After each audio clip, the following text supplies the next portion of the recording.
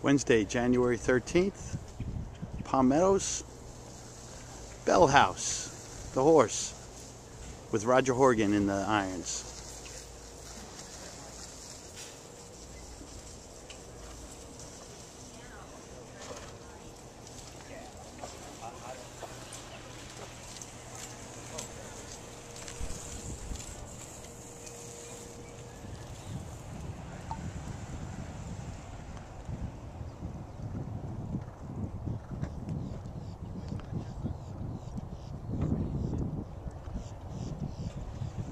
Bellhouse getting ready to gallop off.